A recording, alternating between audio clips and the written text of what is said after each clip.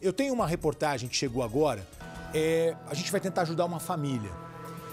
É a família de um pintor, o Adeilton, um rapaz de 40 anos. Ele recebe uma ligação e a informação é de que o rapaz saiu e não voltou.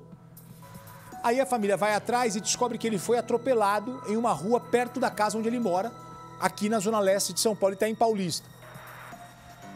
E o pintor entrou em coma, foi levado para o hospital e depois de 30 dias internado, veio a confirmação da morte do Adeilton. E a família falou assim: Poxa, ele foi atropelado, mas quem atropelou? O que, que aconteceu? A família começa uma investigação particular, a polícia trabalhando também, e a família consegue imagens do acidente. E é aí que começa o mistério, é aí que a coisa fica sinistra. A família descobre que o Adeilton estava atravessando a rua. Daqui a pouco eu vou colocar a imagem, mas só para eu mostrar para você. Ele está atravessando a rua, é muito distante aqui, você vai ter que prestar atenção lá longe. É a única câmera que a gente tem. Mas quando você prestar atenção, você vai entender. Ele vai atravessar a rua e uma moto passa muito perto dele, parece até um atropelamento. Só que não. A moto passa, o Adeilton cai e o piloto vai embora. E o pintor fica lá deitado no chão. Os familiares do Adeilton encontraram uma testemunha. E essa pessoa revelou que o pintor não foi atropelado, mas sim agredido por um rapaz que passava de moto, que teria sido proposital. Agora os parentes querem saber quem é o homem que agrediu a Deilton e por que ele fez isso. O Balanço Geral entrou neste caso misterioso e preparou uma reportagem exclusiva para você. Balança. A notícia chegou para a família por telefone. O pintor Adeilton Cosme de Lima, de 40 anos, sofreu um acidente. Quando eu cheguei, a ambulância tinha acabado de chegar também, depois de uma hora e meia praticamente. E ele estava caído no chão. Eu me conformo, entendeu? Eu, eu não me conformo. Deilton tinha ferimentos graves na cabeça. Passou por cirurgia, entrou em coma, foi para a UTI do hospital e depois de 30 dias internado, não resistiu. Ele era tudo para mim, né? Porque pai é pai, né? Inconformados com a morte precoce de Adeilton, a família foi atrás de imagens para entender o que tinha acontecido. O vídeo não mostra com clareza, mas dá para ver o momento em que Adeilton atravessa a rua atrás de uma outra pessoa. Uma moto surge passa bem perto do pintor.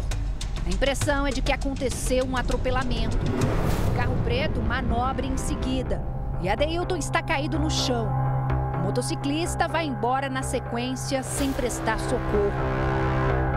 Essas imagens chamaram a atenção da família, acenderam um alerta. Para mim, eu acredito que foi mandado. Para mim, eu achei muito suspeito, até mesmo o carro da imagem.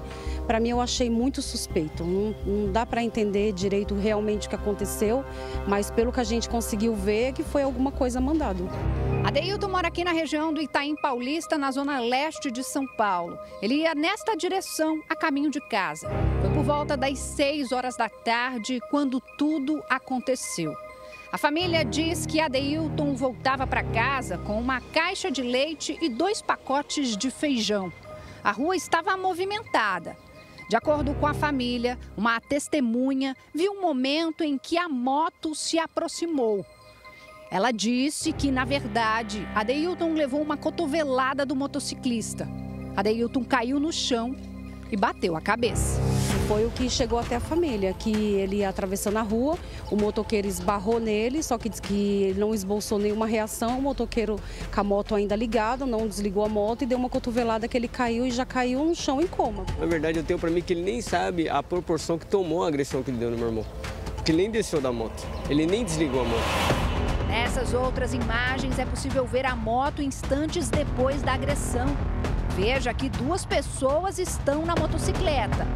Quando a moto pega a avenida, Que ela vai entrar para pegar a avenida, dá para você ver que tinha dois capacetes. Então dá para você ver que tinha duas pessoas. Eu acho que é uma mulher, porque se você não olhar bem, você não consegue perceber que é duas pessoas. Porque o rapaz aparenta ser alto e ele cobre ela. Ele cobre a segunda pessoa. Agora a família quer entender. Foi um acidente, uma briga de trânsito ou algo proposital? Os parentes revelaram que dias antes, Adeilton compartilhou com os familiares que teve um desentendimento com uma ex-namorada. Além disso, o pintor também deu detalhes sobre uma briga em uma obra de um presídio no interior de São Paulo, onde ele estava trabalhando. Disse que o rapaz, ah, acho que atrasou os produtos, ele foi cobrar o rapaz veio com ignorância, ele disse que não ia mais, não sei o que, que aconteceu, e disse que o rapaz pegou ele pelo pescoço. Aí então a gente realmente não sabe, a família está totalmente perdida e sem resposta do que realmente o que aconteceu. Ele chegou a relatar algum tipo de ameaça? Pra gente não. A polícia segue em busca de pistas, mas até agora não sabe quem agrediu e matou a Deilton e por qual motivo. A família quer desvendar esse mistério. Então tava bom, pô. Você, você vê o cara bom no dia e no dia seguinte você vai no hospital, você, você vê o cara lá é debilitado e, e defiando, você tá entendendo? E, e, faz cirurgia, faz isso, faz aquilo e não dá para entender não. Então a nossa intenção é só achar, só, só saber. Né? É querer saber justiça, né? o motivo.